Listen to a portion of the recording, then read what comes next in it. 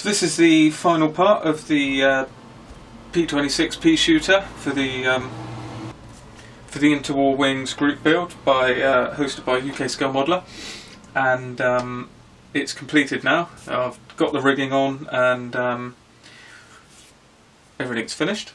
So I've done uh, an unusual scheme. This is the Spanish Civil War Republican scheme. Um, one of these did make it there. Uh, it's got a bit of an interesting history. Um, you might know I've got I've put a couple guns on the wings here because um, this was an export version that was sent to Spain, and it was um, it was a test piece to see if the Spanish wanted to uh, buy more pea shooters, and it actually arrived. Uh, it had all the armament, uh, but it didn't have the synchronization to um, actually fire through the engine. So when the war broke out, to uh, give it some weapons, they put uh, a couple of um, Vickers machine guns on it, and there's only one or two places they could have put it. So I've um, I've gone for the version that I thought. There's only one space in the wing, which is here, where it would have fit. Uh, because there's fuel tanks and stuff in the wings, so it could have either been inside the wings here, or mounted underneath the wings, and um, I chose to put it in the wings, but it's probably unlikely. I expect they just bolted it on the bottom of the wings. Um, it had quite an interesting life. It uh, survived for a couple of years and um, finally got uh, um, destroyed in 1937. Um, the kit's very nice. I've used a Brengun etch metal set with um, a few other bits from Pavla and a Yahu instrument panel, and um, all of that was was absolutely fine. The Brengun uh, cockpit is it's all etched metal. Inside the cockpit. So it does cause a few problems for fit issues but um, it's not a, as long as you test fit everything it's absolutely fine.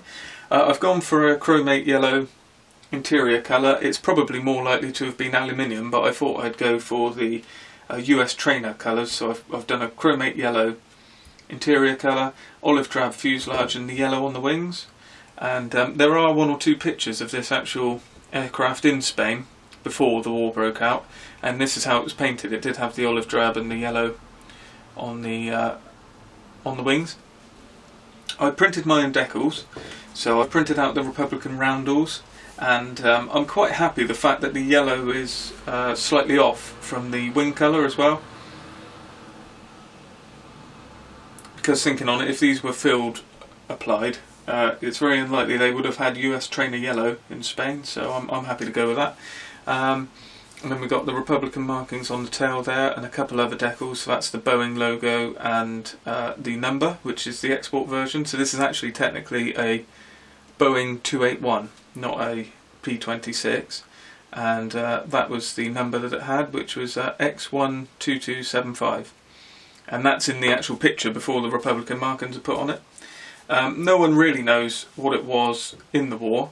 Uh, there's quite a lot of um, aluminium versions. Uh, I feel that would be quite unlikely. The fact that it would have turned up in this colour, it would have been quite a stretch to paint that then aluminium dope, but um, or strip it back to aluminium. So I felt like this is the most uh, realistic version, and um, I've really enjoyed the build. It's very nice. It's been um, I've been updating the Facebook group where um, Ian, which Ian's hosted, and there's lots of great builds going on in there, so it's quite nice to watch those and uh, see them progress. And um, that brings to an end a very interesting group build. So uh, thanks to Ian for hosting this one,